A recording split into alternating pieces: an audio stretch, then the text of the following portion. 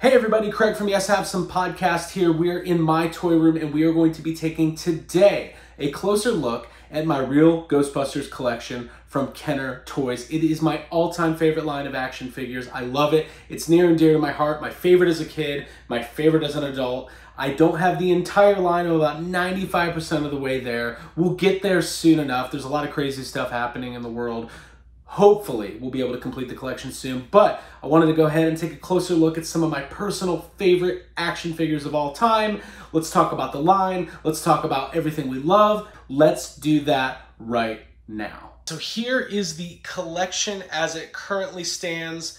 I've got the entire thing in one of these really nice economy wall display cases that I was able to pick up from Stamps local uh, fixture place here in Atlanta, Georgia, Stamp store fixtures. Uh, you should be able to get something similar in uh, your hometown. Uh, let's go ahead and take a closer look. I'm going to go ahead and slide open the glass here and we can get started. So first off, let's take a look at uh, the core figures in the line. So these are the first ones that were ever released.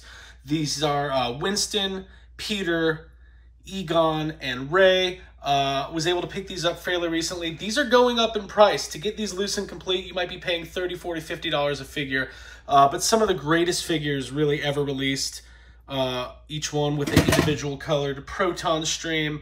And then right here in the center, we've got Bad to the Bone Ghost, which really is one of my favorite ghosts in the line. Uh, had it as a kid, absolutely love it.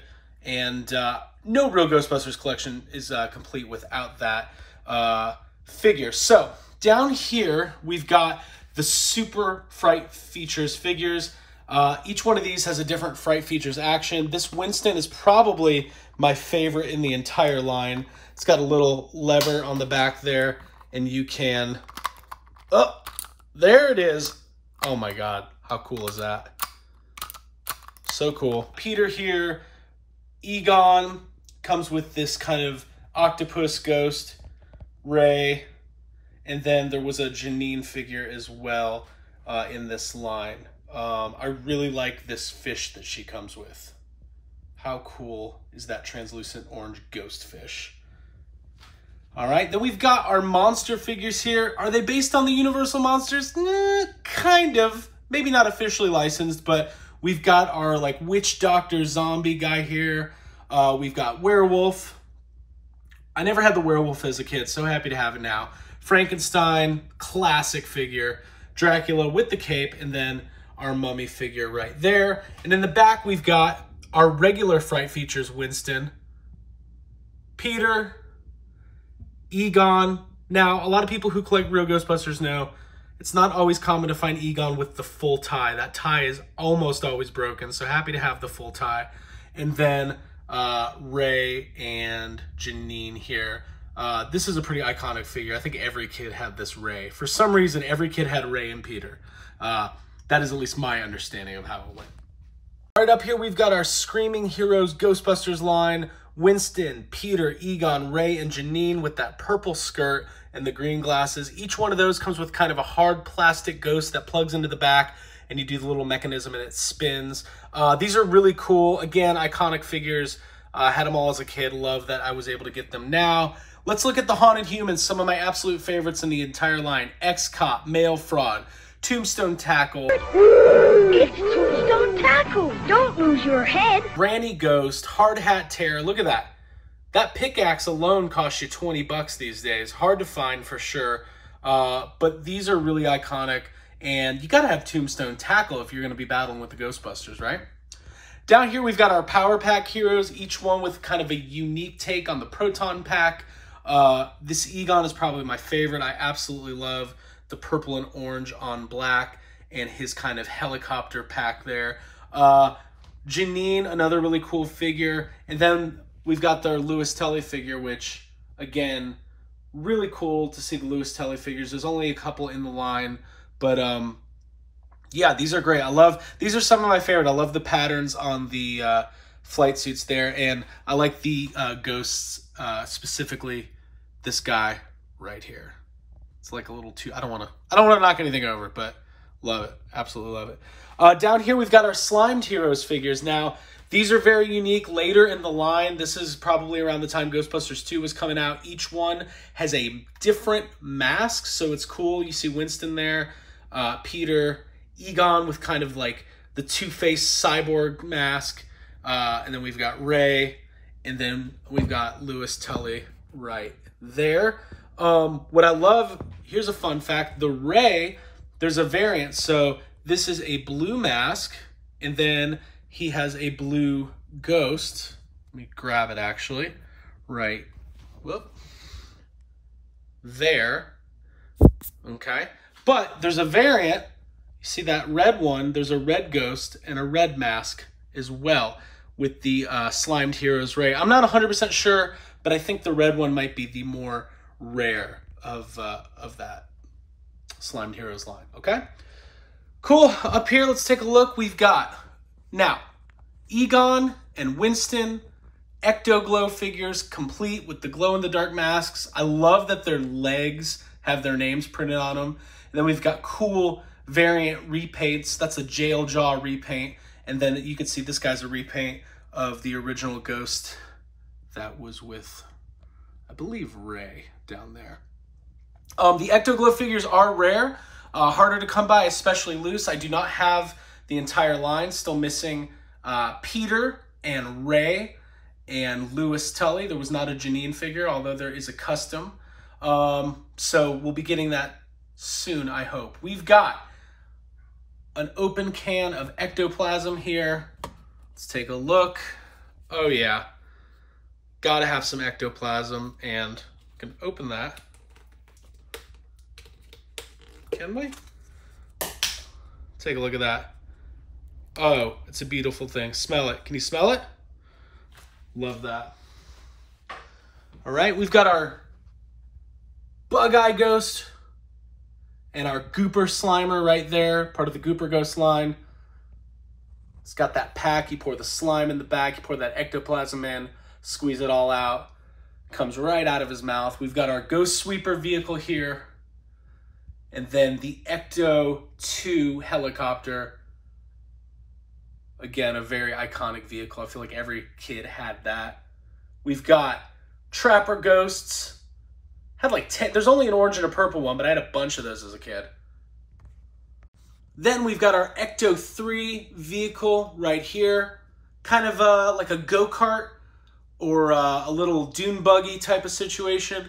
We've got the box for that actually hanging out right there. Okay. Uh, Terror Tongue. This is a really cool figure. Late in the line, did not have this. Uh, picked it up recently, and uh, look at that dude. Love Terror Tongue. We've got Highway Haunter right here, the VW bug that converts into the Mantis.